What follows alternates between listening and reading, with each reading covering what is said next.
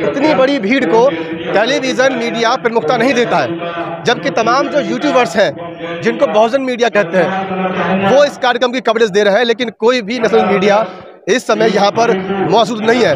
तो television media से जो भरोसा छूटा है, उसके पीछे यही कारण है। आप प्रमाण के साथ देखिए, पूरा स्टेडियम दिल्ली का ताल कटोरा स्टेडियम खचाखच लोगों से भरा हुआ है। लेकिन इस कार्यक्रम को टेलीविज़न मीडिया ने बिल्कुल भी कवरेज नहीं दिया है। वो अन्य किसी मुद्दे को इस तरह से बढ़ चढ़ के दिखाएँगे कि जैसे मान लो कि देश में क्या कोई तूफ़ान आ गया हो।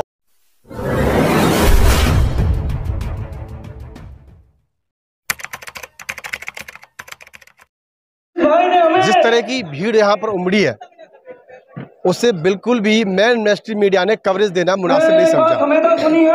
अगर यही कार्यक्रम किसी अन्य विचारधारा का होता तो कहीं ना कहीं यहाँ पर मीडिया का जत्था लगा होता। वही मीडिया जो रात दिन हमको हिंदू और मुसलमान के नाम पर डिबेट दिखाती है।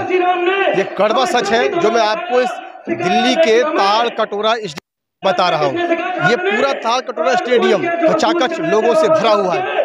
पूरा स्टेडियम नीला और सफ़ेद आपको नज़र आ रहा है। बड़ी संख्या में लोग देश के राज्यों से यहाँ पर पहुँचे हुए हैं। लेकिन अपने मैन मेस्ट्रीम मीडिया ने इसे कवरेज देना बिल्कुल भी मुनासिब नहीं समझा।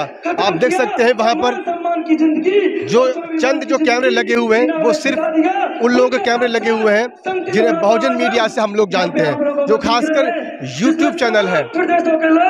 लेकिन कोई भी नेशनल स्तर का टेलीविज़न मीडिया यहाँ पर नहीं है।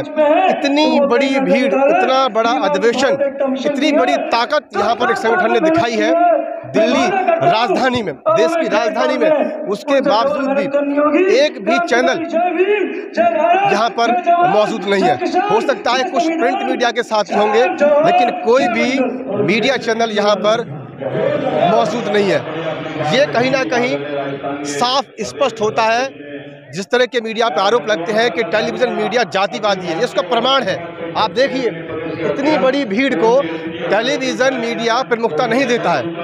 जबकि तमाम जो यूट्यूबर्स हैं, जिनको बहुजन मीडिया कहते हैं, वो इस कार्यक्रम की कवरेज दे रहे हैं, लेकिन कोई भी नेशनल मीडिया इस समय यहाँ पर मौजूद नहीं है। यह प्राणंग पूरा खचाखच भरा हुआ है। लोगों से भीम आर्मी का सातवां स्थापना दिवस है। प्रथम राष्ट्रीय अधिवेशन यहाँ पर किया जा रहा है। लेकिन यह बात दूर तक ना फैले, यह बात दूर तक ना जाए कि देश की राजधानी में एक दलितों के संगठन ने अपनी ताकत दिखाई और पूरे स्टेडियम को नीला और सफ़ेद कर दिया आज। यह बात दूर तक ना फैले, इसके लिए मैन मिनिस्ट्री मीडिया ने इसको कवरेज नहीं दिया। लेकिन हम जैसे लोग जो इस मिशन के लिए काम कर रहे हैं, जो हमारा मोटिव है कि ये मिशन जो है मज़बूत हो, हम लोग यहाँ पर लगातार इस कार्यक्रम की कवरेज दे रहे हैं और हमारे जैसे तमाम यूट्यूब चैनल यहाँ पर लगे हुए हैं। लेकिन शर्म की बात है और देश की मीडिया को डूब के मर जाने की बात है कि इतना बड़ा ताकत से एक संगठन ने जो है यहाँ पर एक कार्यक्रम किया, राष्ट्रीय अधिवेशन किया, लेकिन टेलीविज़न मीडिया ने इसको जो है इग्नोर कर दिया। तो आप समझ सकते हैं कि टेलीविज़न मीडिया कितना जातिवादी है कि वो एक विशेष समुदाय की खबरों को जो है प्रकाशित नहीं करना चाहता है। वो टेलीविज़न मीडिया नहीं दिखाना चाहता है कि आज देश की राजधानी के अंदर भीम आर्मी ने क्या ताकत दिखाई है? कितना जन सैलाब उन्होंने यहाँ पर इकट्ठा कर दिया है ये वो दिखाना नहीं चाहती है। वो नहीं चाहते हैं कि राष्ट्रीय स्तर पर भीम आर्मी की आवाज़ उठे। लेकिन टेलीविज़न मीडिया पर ही हमारे लोग निर्भर नहीं हैं। वो जानते हैं कि हमारी मीडिया क्या है। वो जानते हैं कि हमारी मीडिया सिर्फ़ और सिर्फ़ ये बहुजन मीडिया जिसे हम कहते हैं, जो यूट्यूब चैनल्स हैं फेसबुक चैनल्स हैं, उनके माध्यम से कहीं ना कहीं जो हमारी आवाज़ है, वो हम तक आ पाती है। तो टेलीविज़न मीडिया से जो भरोसा छूटा है, उसके पीछे यही कारण है। आप प्रमाण के साथ देखिए, पूरा स्टेडियम दिल्ली का ताल कटोरा स्टेडियम खचाखच लोगों से भरा हुआ है।